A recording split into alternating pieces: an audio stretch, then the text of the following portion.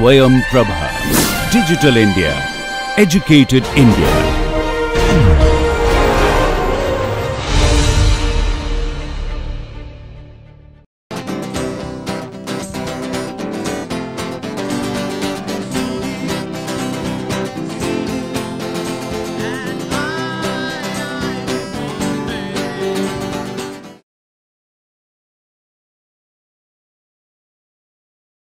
We have considered some methods for solving a system of linear equations. So, the methods which we have considered are Cholesky decomposition, then Gauss elimination method with and without partial pivoting. Now, these methods they are meant for solving big systems of linear equations using a computer if you are doing hand computations then you will be solving a small system say n is equal to 3 n is equal to 4 and then it does not matter which method you use.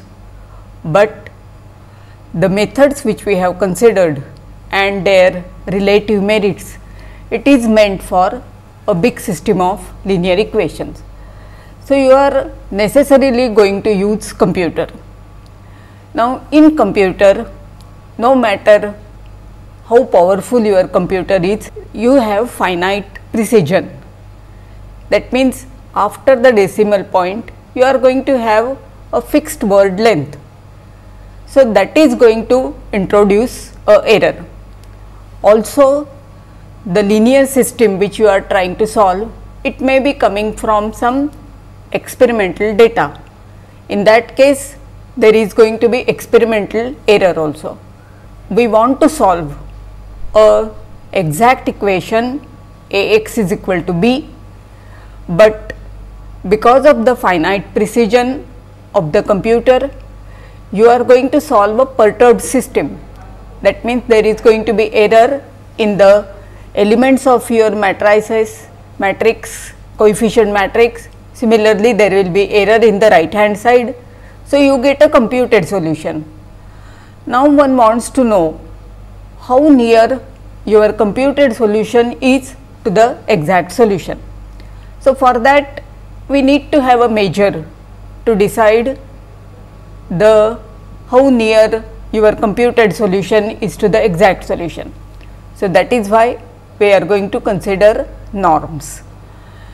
Now, the norm will give us a distance way to calculate distance between two vectors. You are familiar with Euclidean norm. So, in R 3 the Euclidean length is going to be x 1 square plus x 2 square plus x 3 square whole thing raised to half. Then we are going to define some other vector norm and then we will be considering the matrix norms. So, today's topic is going to be vector and matrix norms and as has been the case so far our numbers they are going to be all real numbers. So, matrices involved are real then vectors involved they are real. So, let us define a norm. So, x is going to be a vector in Rn and we will define norm.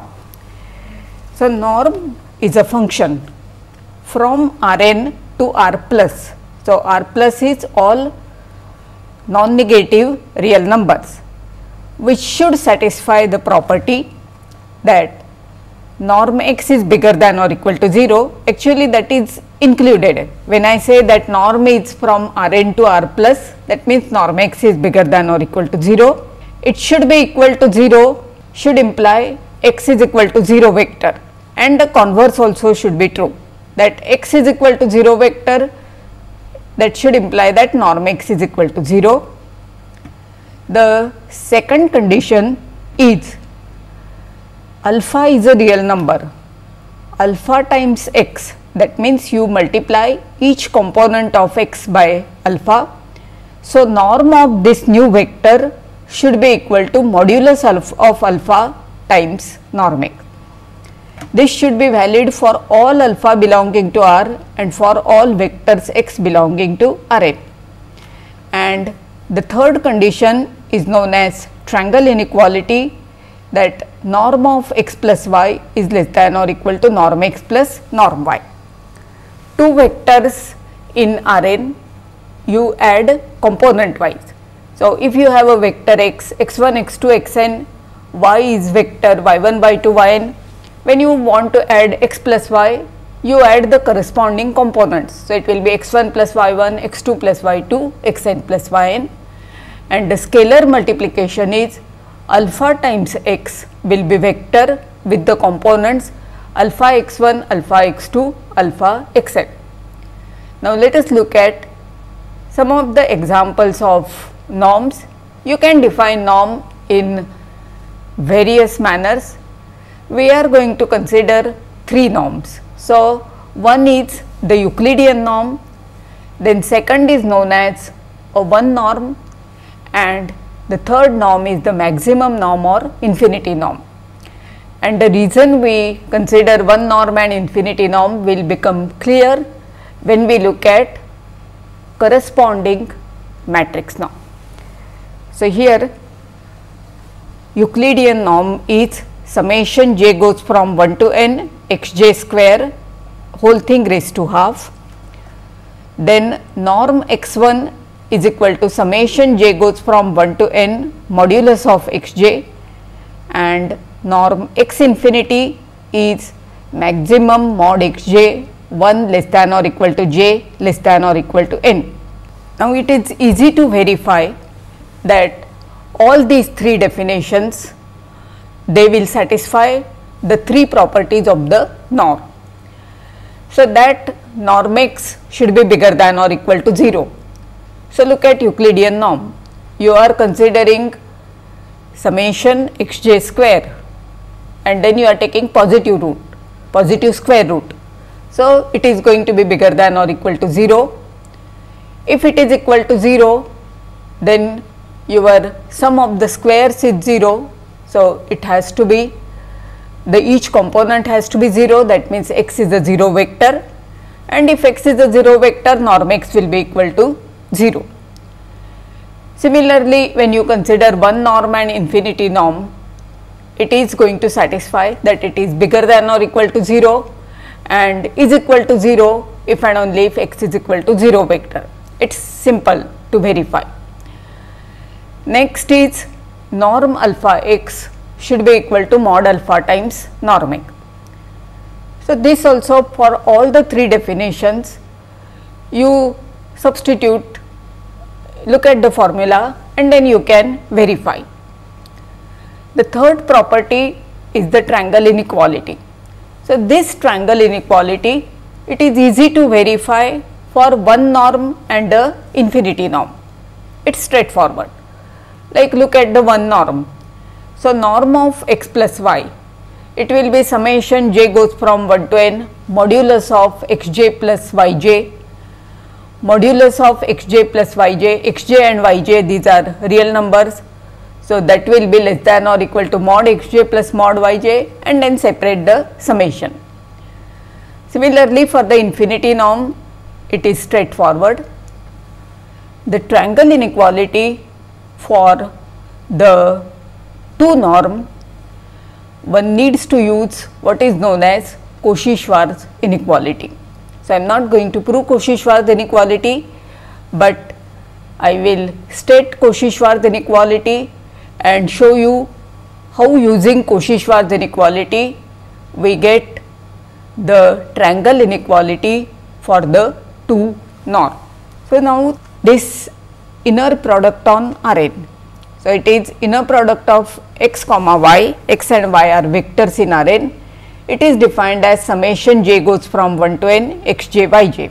We will come across inner product little later and then that time we will study the properties of the inner product. In fact, we did use inner product when we had talked about the Gauss points.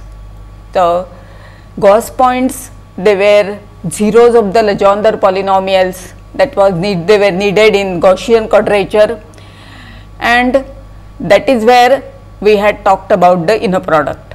So, you are familiar with inner product. So, now look at the inner product on Rn and then you consider positive square root of x comma x. So, that is nothing but our 2 norm of x. So, x comma x raised to half is equal to norm x 2. So, the Cauchy-Schwarz inequality is modulus of inner product of x with y is less than or equal to norm x 2 into norm y 2. So, that is modulus of summation j goes from 1 to n x j y j because that is our definition of inner product of x with y is less than or equal to summation j goes from 1 to n x j square is to half which is norm x 2 and this quantity is norm y 2. So, this is the Cauchy-Schwarz inequality and now look at norm of x plus y its 2 norm and then square of it. So, that is summation j goes from 1 to n x j plus y j square. X j plus y j is going to be jth component of x plus y. So, I expand the square and I will get summation over j x j square plus summation over j y j square plus 2 times summation x j y j. This is nothing but 2 norm of x square summation over j y j square is norm y it is 2 norm square plus now I use the Cauchy-Schwarz inequality to dominate this by 2 times norm x 2 norm y 2. So, this is nothing but norm x plus norm y square. So, now you take positive square root and then that will prove the triangle inequality for 2 norm. So, this is about the vector norms. Now, I want to consider matrix norm. So, I have got A to be a n by n matrix. So, I want to define the norm. So, it should satisfy our three properties the positive definiteness, triangle inequality and the third one was that alpha times A should be equal to mod alpha times norm A. So, why not treat our A as a vector of length n square because what is matrix? It is an arrangement of n square numbers. We write them as rows and then columns. So, as such the matrix A it has got n square elements. So, I can treat it as a n square a vector of length n square. I know how to define vector norm. So, then I will consider the corresponding norm. Norm which corresponds to the Euclidean norm will be aij square. Now, instead of single summation you will have summation i goes from 1 to n, summation j goes from 1 to n and then whole thing raised to half. So, this is known as Frobenius norm and then norm A max. Now, I am not writing infinity because norm A infinity I want to reserve that symbol for something else. So, norm A max will be maximum of modulus of A i j 1 less than or equal to i 1 less than or equal to 1 less than or equal to j less than or equal to n and then one can verify that these definitions they will satisfy our three properties of norms. Now, what we want to do is we want to relate our vector norm and the matrix norm because look at our system of linear equations it is Ax is equal to b. So, we are considering matrix into vector.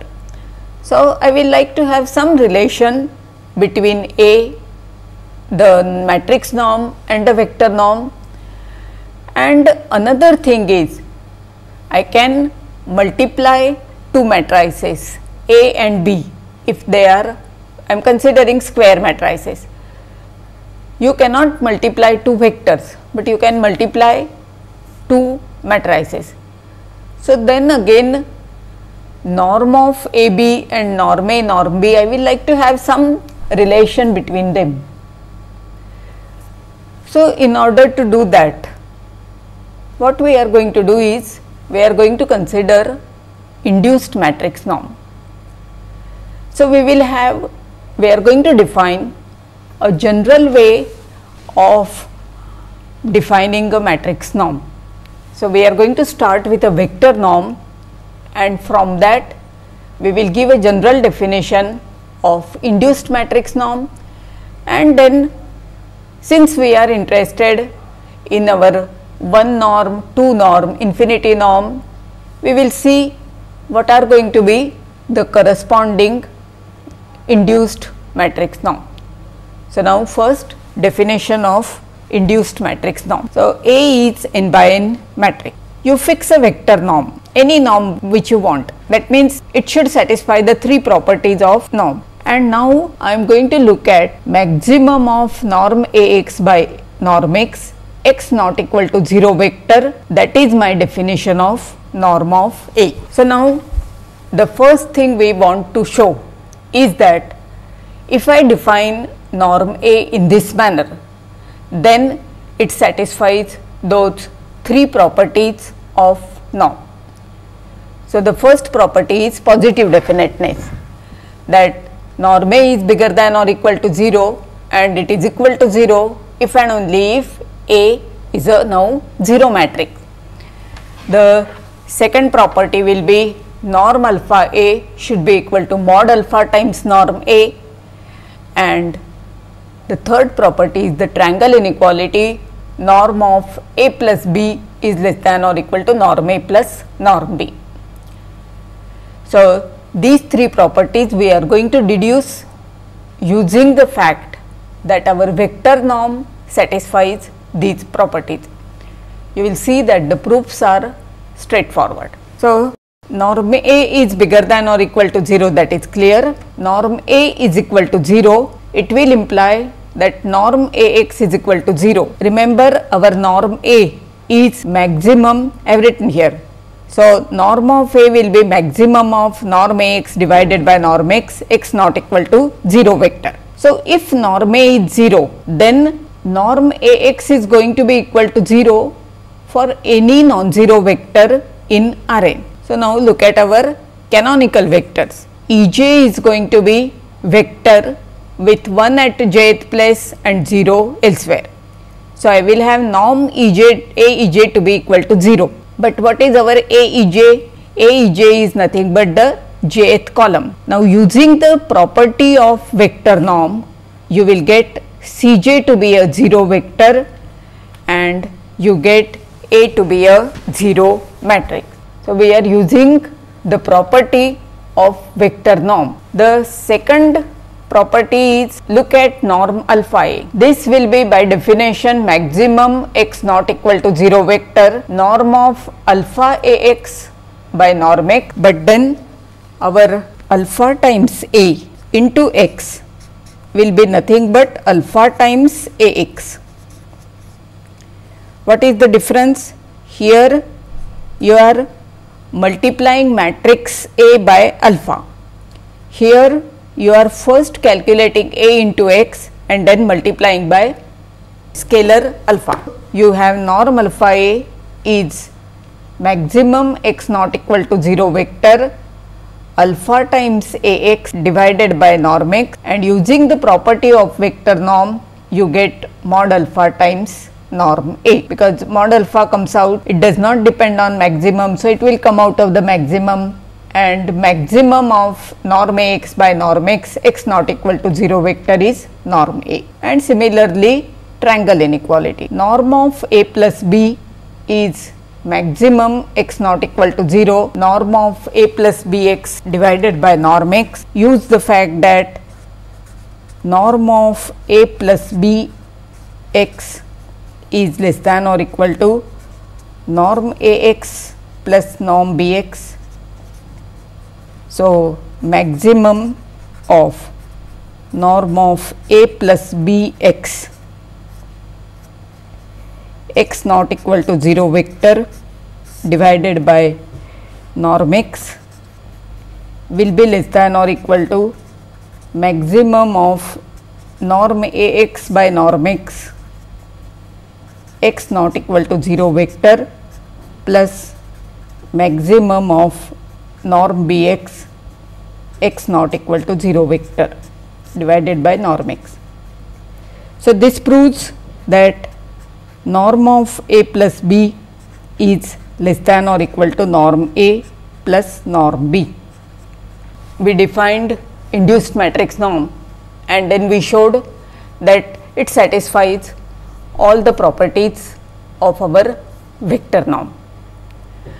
Now, we want to we are going to prove one of the basic inequality which we will be using frequently later on. So, that inequality is going to relate the matrix norm to vector norm and we are going to show that norm of AB is less than or equal to norm A into norm B. Now, these two properties they will follow from our definition of induced matrix norm. So, our norm A is maximum norm Ax by norm x x not equal to 0 vector. That means, for all non-zero vector norm Ax by norm x is less than or equal to norm A which will give us norm Ax to be less than or equal to norm A into norm x for all non-zero vector. But if x is a 0 vector, norm x will be 0, Ax being a 0 vector again this will be 0. So, this fundamental inequality will be true for all x belonging to Rn. Now, I want you to note one thing that here norm Ax that means vector norm, norm A means induced matrix norm and norm x that means again vector norm. So, it is clear from the context about which norm we are talking about. A being a matrix, this will be a matrix norm, x being a vector, this will be a vector norm. So, this is the first inequality and now let us show the consistency condition. That means, if you have got A and B to be two matrices, take their product. So, AB is going to be again a n by n matrix. So, norm AB is less than or equal to norm A into norm B. So, this fact will be proved using our basic inequality that norm Ax is less than or equal to norm A into norm x. So, you have got norm ABX to be less than or equal to by fundamental inequality it will be norm A into norm Bx. Treat Bx as one vector and A as our matrix. So, you have got norm A into norm Bx. This is less than or equal to now use fundamental inequality for Bx. So, norm Bx will be less than or equal to norm B into norm x. Now, if x is not equal to 0 vector norm x will not be 0. So, I can divide and you will get norm a b x upon norm x to be less than or equal to norm a into norm b for all non-zero vectors in Rn. So, now take maximum of this over x not equal to 0. The right hand side is independent of x. So, you get norm a b to be less than or equal to norm a into norm b. So, this is consistency condition. So, when one talks about vector norm, it should satisfy those three properties. When one talks about matrix norm, it should satisfy the three properties of vector norm and in addition norm AB to be less than or equal to norm A into norm B. This is a very elegant definition. Start with any vector norm you define the induced matrix norm showing that it satisfies the three properties of vector norm and then the consistency condition it was straightforward. So, very nice situation, but then given a matrix A, I will like to calculate its norm. Like given a vector x, if I want to calculate its Euclidean norm, I know that take the squares of their components, add them up, take the positive square root. If I want one norm, then I will take the modulus of each component, add it up. If I want infinity norm, look at the moduli of its components and look at the maximum. So, now suppose I take one of these three norms and then I want to know what is the induced matrix norm.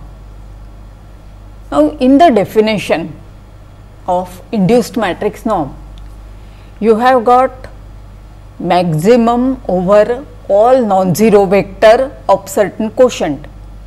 That quotient is norm Ax by norm x. So, how am I going to calculate this maximum? I have got infinitely many vectors. So, then I cannot calculate this induced matrix norm. So, now we are going to derive a formula for calculating norm A1 that means when you fix vector norm to be 1 the corresponding induced matrix norm. So, we will have a formula in terms of the components of the matrix. So, it is going to be something one can calculate. Similarly, for infinity norm of the matrix, we will have a formula whereas the nice case of Euclidean norm, well one has to be satisfied only with an upper bound. So, the Euclidean norm of matrix is something which you cannot calculate. So, now let us derive a formula for norm of A 1. We are fixing our vector norm to be 1 norm and then I am going to look at norm A x 1 divided by norm x 1 and look at their maximum. So, I have got norm A 1 is maximum of norm of A x 1 divided by norm x 1 x not equal to 0 vector. I want to find a formula for this. Now, the components of A x, let me write as A x i.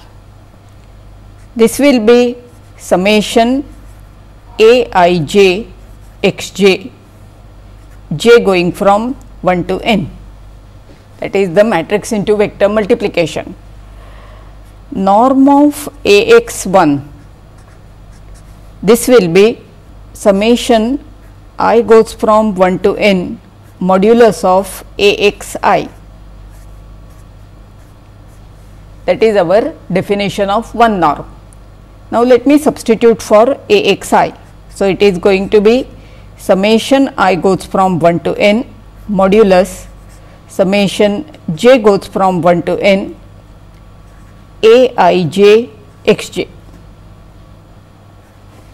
Now, this will be less than or equal to summation i goes from 1 to n, summation j goes from 1 to n, modulus of a i j, modulus of x j. So, we are using triangle inequality. Now, this is finite summation. So, I can interchange the order of the summation. So, I am going to have, so this is our norm a x 1 is less than or equal to this. So, this is same as summation j goes from 1 to n, summation i goes from 1 to n, modulus of a i j and then mod x j. Now, summation is over i, here you have x j. So, it will come out of the summation sign. So, it will be summation j goes from 1 to n mod x j summation i goes from 1 to n modulus of a i j. So, here what we are doing is you fix j that means you are fixing the column. Look at the entries in that column, take their modulus and then add it up.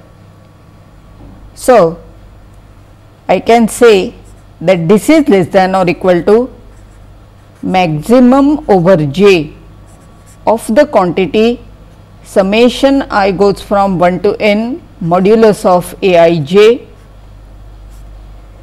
into summation j goes from 1 to n mod x j and this is nothing but norm x 1. Let me call this quantity to be alpha. So, what we have is norm a x 1 is less than or equal to alpha times norm x 1 and hence you will have norm A1 to be less than or equal to this number. So, here we have norm Ax1 is less than or equal to alpha times norm x1 where alpha is this number summation i goes from 1 to n modulus of aij 1 less than or equal to j less than or equal to n. So, I can very well calculate alpha. I will look at the columns of my matrix A. So, look at the first column. So, take the modulus and add it up. So, that means I am considering one norm of the first column, then one norm of the second column and one norm of the nth column. So, I will get n number. The maximum among them that is going to be my alpha and my norm A1 is going to be less than or equal to this alpha. But we will like to show that it is not only less than or equal to, but it is equal to. So, we have proved that norm A1 is less than or equal to this number and now let us show that in fact it is equal to maximum. So, you have norm Ax1 is less than or equal to alpha times norm x1 where alpha is this quantity and hence you have got norm A1 to be less than or equal to alpha. Now, look at this maximum. This will be equal to summation i goes from 1 to n modulus of a i j 0 for some j 0. Such a j 0 need not be unique. It depends on your matrix maybe all the columns they are going to have the same one norm, but you are looking at maximum of n numbers. So, look at at least one number which is equal to maximum and let that column be equal to j 0th column. Now, if you consider a times e j 0 Ej0 is a canonical vector with 1 at j0th place and 0 elsewhere. So, Aej0 that gives you j0th column. So, using this fact we will show that alpha is equal to norm A1. So, consider Aej0 that is nothing but the j0th column. So, norm A E J 01 is equal to alpha and if you consider norm E j 0 it is one norm that is going to be equal to 1. So, you have got alpha which is equal to norm A E j 0 1 divided by norm E j 0 1 this is going to be less than or equal to norm A 1. So, thus we have proved that norm A 1 is equal to alpha and that is known as column sum norm because what you do is in each column you are adding the moduli of the entries and looking at their maxima. So, here is a formula for norm A1. Now, we are going to look at norm A infinity. Now, norm A infinity we will see that. So, here what was the crucial result? It was that you had a finite summation. So, you interchange the order of the summation. Now, in case of the infinity norm you do not have to do interchange because there is going to be only one summation and one maximum. Here in order to show that the as such norm A infinity it is going to be row sum norm. That means what you do is look at each row, take the moduli of the entry, add it up, you will get n numbers. Among these n numbers, whichever is going to be the bigger one, that is going to be norm A infinity. So, this fact now we are going to prove. Now, in order to show that norm A infinity is equal to this, showing less than or equal to will be simple, showing that it is equal to that is going to be a bit involved. In case of one norm, it was easy, you just looked at the corresponding canonical vector. Here we will have to construct a vector where the infinity norm is going to be attained. But then the proof is going to be something similar. So, you fix infinity norm and then our aim is to calculate norm A infinity which is maximum of norm A x infinity divided by norm x infinity x not equal to 0 vector. So, let us start with norm A x infinity. So, norm A x infinity will be maximum of modulus of A x i 1 less than or equal to i less than or equal to n by definition of infinity norm. Now, A x i as before will be given by summation j goes from 1 to n a i j x j. Then for this modulus use triangle inequality. So, you will get less than or equal to maximum 1 less than or equal to i less than or equal to n summation j goes from 1 to n modulus of a i j mod x j. So, there are no two summations here. Now, this mod x j I will dominate by norm x infinity. So, norm x infinity is going to be maximum of mod x j, j going from 1 to n. So, if I dominate that it will come out of this summation and in maximum.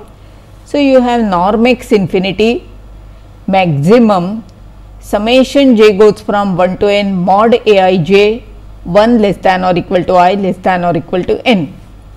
So, here you are fixing first i is equal to 1, then you are looking at you are varying j that means you are looking at the elements in the first row taking their modulus summing it up then put i is equal to 2. So, you do it for the second row and put i is equal to n. So, like that you are going to get n numbers maximum among them that we are denoting by beta. So, we get norm A x infinity to be less than or equal to beta times norm x infinity. From this conclude that norm A x infinity divided by norm x infinity is less than or equal to beta for x not equal to 0 vector take their maximum that is norm A infinity. So, you have got norm A infinity to be less than or equal to beta. And now, we want to show the other way inequality that now we want to show that we have proved that norm A infinity is less than or equal to beta. Now, let us show that beta is less than or equal to norm A infinity. So, that combining these two inequalities we can show that norm A infinity is in fact equal to beta. So, now again beta is maximum summation j goes from 1 to n modulus of a i j maximum over i. So, this maximum will be attained for some i is equal to i 0. Such a i 0 can be more than 1. So, take one of them. So, get hold of i 0 such that beta is equal to summation j goes from 1 to n modulus of a i 0 j. And now, let us construct a vector. So, we are looking at elements of the i 0th row. If a particular element is non-zero, then you define y j to be mod a i 0 j divided by a i 0 j. If that number is equal to 0, then you define it to be equal to 0. Now, if I define such a matrix, modulus of y j for any j is going to be either 1 or 0 and that will mean that norm y infinity should be equal to 1 at least one of the y j should be not 0 because if y j is equal to 0 that means each entry in the i 0th row will be 0. So, you will get beta to be 0 and that will mean that A is a 0 matrix. Okay. So, now I have constructed a vector yj. Now, I look at ay of i 0. So, i 0th component of my vector ay that will be given by summation j goes from 1 to n a i 0 j y j. Now, look at the way we have constructed y j. If corresponding y j is not 0, then a i 0 j multiplied by y j will be mod a i 0 j divided by a i 0 j. So, a i 0 j will get cancelled and you will get modulus of a i 0 j. If the yj is equal to 0, it will not contribute to your summation. So, you will get this is equal to summation j goes from 1 to n modulus of a i 0 j and this is going to be equal to beta. So, we have got beta is equal to i 0th component of our vector a y i 0th component will be less than or equal to norm of a y infinity norm. Norm a y infinity we know that it is less than or equal to norm a infinity into norm y infinity and then you get or norm a y infinity will be less than or equal to norm a infinity into norm y infinity. Norm y infinity will be 1. So, you will get norm a infinity. So, we have got beta to be less than or equal to norm a infinity and what was beta it was this maximum. So, this is going to be row sum norm. So, now we have obtained a formula for norm A 1 and norm A infinity.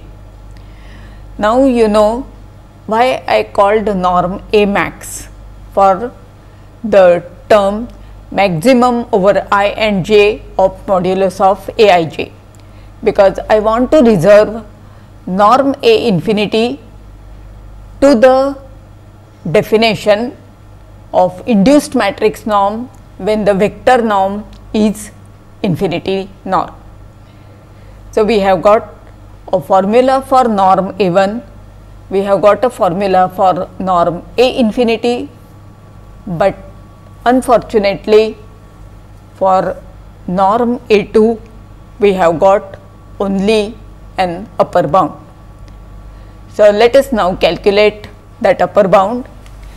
That upper bound will be, we will be again using Cauchy-Schwarz inequality. So, the again the method is the same. We will look at norm of a x 2 norm, obtain it to be less than or equal to say gamma times norm x 2 so, that gamma will give us an upper bound. So, we have norm A 2 to be maximum of norm A x by norm x, x not equal to 0 vector. Recall that Euclidean norm 2 of x is summation j goes from 1 to n x j square raised to half. So, look at norm Ax it is 2 norm square. It will be summation i goes from 1 to n Axi square by definition. Now, ith component of Ax is given by summation j goes from 1 to n Aij xj. So, this is Axi and its square. Now, apply Cauchy-Schwarz inequality here.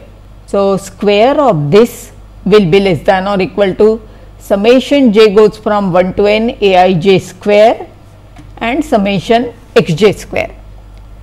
So, using the Cauchy-Schwarz inequality you get this quantity to be less than or equal to summation i goes from 1 to n summation j goes from 1 to n aij square summation j goes from 1 to n xj square.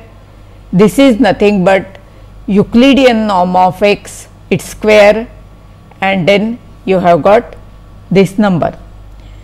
Now, if you recall this is what is known as Frobenius norm. So, you have got norm a f square into norm x square. So, that gives you 2 norm of a to be less than or equal to norm a f. So, now let us recapitulate our norms.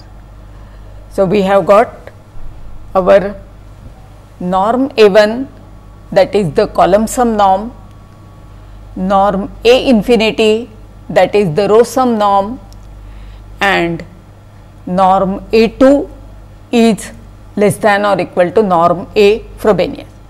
So, this is the best one could do for the 2 norm. But then for the 2 norm we have got the basic inequality. Norm of Ax its 2 norm is going to be less than or equal to norm A Frobenius into norm of x 2 norm. So, that inequality is available. If your matrix A is symmetric, then one norm and infinity norm they are going to be the same because for column sum norm that gives us one norm. If you do corresponding thing for row you get infinity norm. So, for the symmetric matrix both one norm and infinity norm they are going to be the same. For a general matrix they can be different. So, now we have proved or we have defined vector norm and matrix norm. Using these we, we are going to analyze the behavior of the perturbed system. Ax is equal to b is the original system or the system which we want to solve. Because of the use of computers, we are going to solve system a plus delta a x cap is equal to b plus delta b. So, x is the exact solution, x cap is the computed solution and we will like to say something about norm of x minus x cap. So, this perturbation of the linear system and sensitivity of the computed solution to the change in the right hand side or to the perturbation that is going to be topic of our next lecture. So, thank you.